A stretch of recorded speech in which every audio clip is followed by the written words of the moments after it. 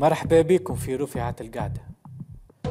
44 جانفي 1978 بعد بونتو علي الكعبي بالضبط. وميمة خرجت من الدار تشري في كعبتين كرواسون واربع كعبات معشعش.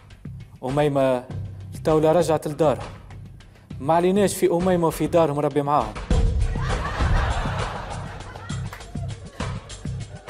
اليوم باش نحكيو على سمير.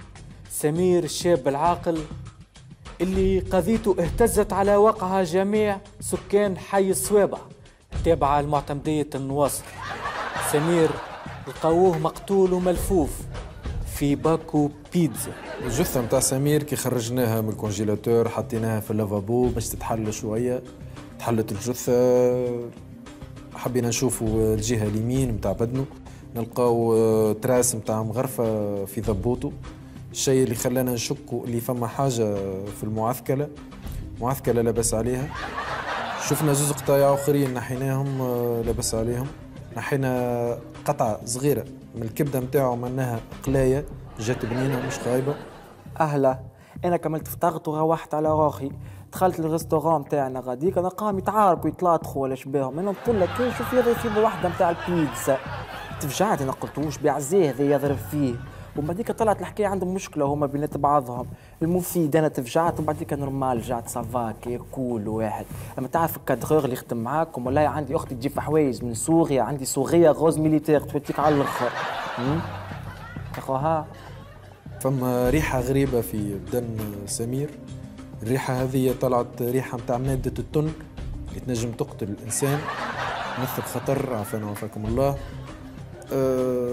مادام فما ريحة التن إحنا كطب شرعي رجحنا وعلى الأرجح إنه سمير مات مطعون أي مدغور كسكروت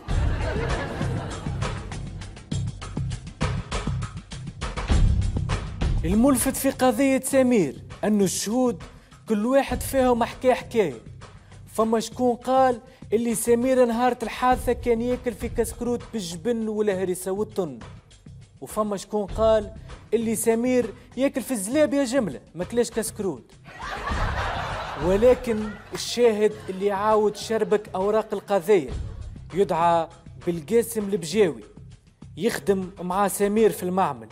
بالقاسم قال اللي نهارة الحادثة شاف سمير ياكل في كسكروت بالمقلي. وفيه شوية ترشي من الفوق. يا كاو عاد إحنا كي سمعنا اللي آه، ذاك الطب بتاع التشريح هذاك اللي آه، بتاع الشرعي. آه، قال راهو زيد طالع هابط عنده بزاي.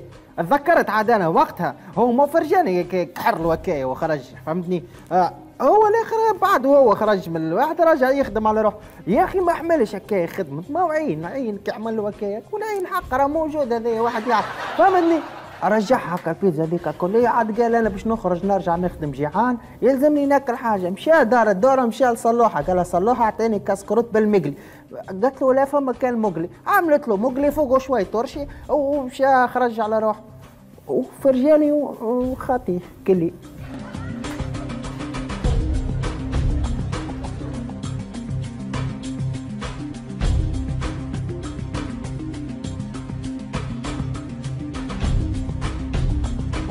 والملفت للانتباه زاد في القضية هذه أنه القاتل قام بالعملية متاعه بطريقة بشعة جدا.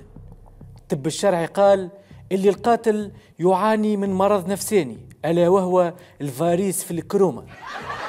الطب الشرعي زاد قال لنا اللي المرحوم سمير لقاو عنده جوبليه في معدته البنكرياس متاعه مزيت شوية نلقاو جوبليه تحت الكبدة متاعه أه شكينا.